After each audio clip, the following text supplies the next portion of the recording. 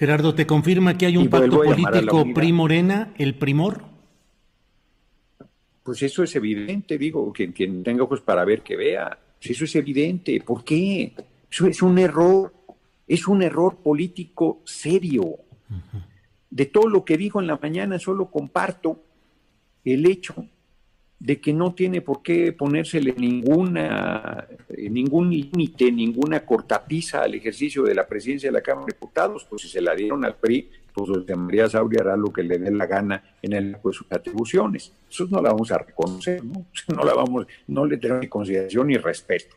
Este, y tampoco vamos a hacer majadero, eh, simplemente este, sigo por la puerta de atrás, hombre de verdad, el compañero presidente tan sensible que tiene el pulso de la gente, pues ¿cómo no puede darse cuenta de este error tan fuerte, hombre? Pero efectivamente hay que dar vuelta a la página, ¿no? Porque lo otro también es, no, no tiene sentido. Eh, lo que importa es el movimiento, lo que importa es la transformación del país, pero como lo dije desde ayer, pues cada que haya algo que yo no esté de acuerdo y que sea importante decirlo, y en este caso lo es, lo manifiesto y tan tan a otra cosa.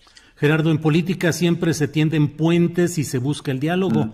¿Te han tendido puentes? ¿Te ha buscado alguien? ¿Te han ofrecido platicar? Ninguno. Nada. No, ninguno.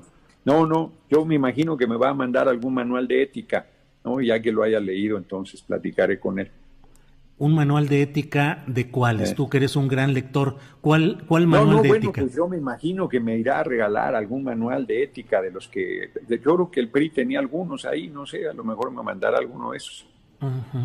Eh, ¿Tú ya eh, le das la vuelta a ese asunto o seguirás conforme te lo vayan, conforme la música que salga? No, bueno, bueno, si me cucan, como se dice por ahí, ¿no? Pues les responderé, pero no, hay que darle vuelta a la página. Hay que,